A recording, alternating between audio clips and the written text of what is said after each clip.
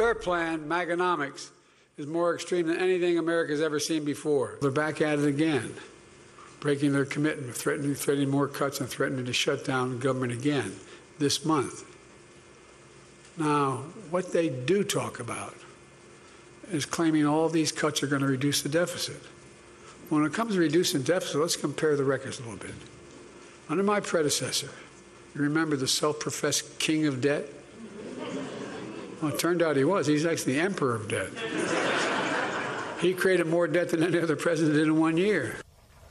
That's President Biden discussing a possible government shutdown and what he calls Maganomics during a speech last week in Maryland. Joining us now to discuss the potential impact of a shutdown and much more, it's U.S. Treasury Secretary Janet Yellen. Secretary Yellen, thanks so much for being with us this morning. Let's start there with a potential shutdown. We are, by my math, 11 days away from the deadline of September 30th, a week from Saturday, to get a new budget through and to keep the government from shutting down. I think a lot of people talk about this in political terms with Brinks brinksmanship and all the rest. But from where you sit at Treasury, what would a government shutdown mean to the economy? Well, look, there's absolutely no reason why we should have a government shutdown. Uh, Democrats in both the House and the Senate and Republicans uh, in the Senate are ready to pass appropriations bills or a continuing resolution to keep the government open and operating for the American people uh, Speaker McCarthy needs to find a way to do his job, which is um, to pass a continuing resolution or bills. So there's no reason. We've got a good, strong economy. It has a lot of momentum. Inflation is coming down. The labor market remains very strong we really don't need a shock to the economy in the form of a slowdown. There's no reason for it at all. And yet, typically, maybe come up to the 11th hour, but there is a deal struck to avoid a shutdown. If that doesn't happen here due to the internal politics in the Republican Party, what happens to the economy? What would you say from Treasury? Well, we have not tried to estimate the impact of a shutdown. It would depend importantly on how long it lasts. But um, again, there's really no good reason why there should be a shutdown. Uh, when the debt ceiling was raised, an agreement was struck uh, about that would serve to uh, lower the deficit by about a trillion dollars over the next decade, and um, we should just adhere to the bipartisan agreement that was struck. Okay, Madam Secretary, front page of the uh, Wall Street Journal um, talking about uh, rising oil prices posing a risk to an economic soft landing. So, oil prices, inflation coming down, to use your words, not down, but coming down in a hot economy. What do you say to the Wall Street Journal's concerns that a soft landing might be at risk? Well, I think we're really on a good path toward a soft landing. And net over the last year, if you go back to last summer, uh, when oil prices peaked, gas prices are down $1.20 a gallon. But um, it's true that oil prices um, have risen recently. Gas prices are up somewhat. That's not desirable. I think it reflects in part Saudi Arabia's uh, decision to continue uh, oil, oil supply cuts uh, that it put into effect earlier. And of course, the ending of the pandemic in China, even though China's growth is slower than expected, has raised demand for oil. So oil prices are up somewhat.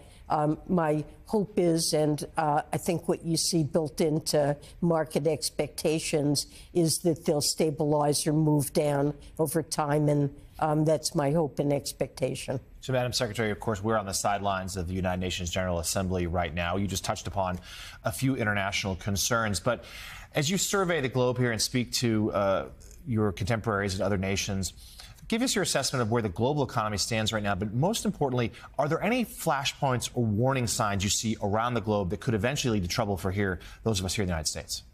Well, actually, the global economy is proving more resilient um, than was expected by major organizations like uh, the IMF that uh, forecast um, slow, very slow global growth. Um, Germany technically is in recession. It's had several quarters of negative growth. But overall, Europe is holding up better in spite of big increases, surges in energy prices, and we're seeing tight monetary policy to bring down inflation um, in many developed countries. But the United States is enjoying um, slower growth than during the recovery phase, but remarkable job creation, strong consumer spending, and that um, even with uh, inflation coming down, I think we're on a path toward w- what you might call a soft landing. Now, China, uh, China has both short run and long long run issues in its economy. Um, its its recovery from the pandemic has been less robust than was expected, and of course, its property sector is suffering from um, a decline in uh, home prices and over indebtedness of many developers that really pose some significant financial threats. Longer term uh, negative population growth, slowing productivity growth. So policymakers in China face some challenges. They do have some policy space to be able to address them, and it's my hope that they will do so effectively. There could be some spillovers to the United States, but I believe they're relatively small. It's countries in Asia that are likely to be more affected. Madam Secretary, um, I want to go back to the, the, the, rosy picture that you just painted of the U.S. economy with inflation coming down and unemployment coming down, um, and, and, answer the riddle that the White House is finding so befuddling, which is with those good numbers, why are polling amongst the American people so pessimistic about the economy? And I'm wondering if it's that they just having been through a period of inflation, they fear that inflation might come back again. Those high oil prices that Mika was talking about, the OECD is forecasting slower growth next year, something like 1.3 percent, I think, for the US. Is it is it just fears about the future? I, am not asking you to play therapist with the American voter, but there seems to be a disconnect between the numbers we're seeing and the way people are feeling about the economy. And how do you I, account for it? I, I, agree with you that there's a disconnect, and um, I don't have a simple and convincing answer. But Americans have been through a lot. The pandemic really took a toll on American families, on children, on households. Um, we are enjoying a remarkable recovery, but um, also with high inflation, much of it reflecting supply bottlenecks that developed uh, during the pandemic and then with Russia's brutal um, attack on Ukraine, we saw a surge in uh, gas prices, in food prices. Um, so Americans have um, been reeling from high inflation. They do realize in polls that it's coming down. And Americans' financial situation actually improved uh, during the pandemic. Uh, interestingly, when Americans are asked about their own personal financial situation, they're positive on that. Um, the negative results you cite mainly reflect their answers to how is the economy more broadly doing.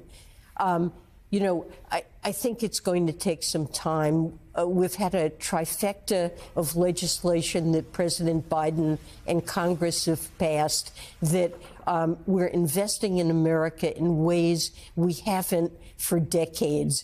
Um, a bipartisan infrastructure bill that Americans are going to be seeing um, roads repaired, bridges rebuilt, um, improvements in their ports and their airports, in public transportation, in the grid um, a semiconductor and chips bill that is leading to enormous investments across the country in semiconductor manufacturing, and of course, a critically important Inflation Reduction Act that's leading to massive investments in the clean energy economy that will both um, lower carbon emissions in the United States, but also create enormous numbers of good jobs in parts of the country that have really been missing out on growth.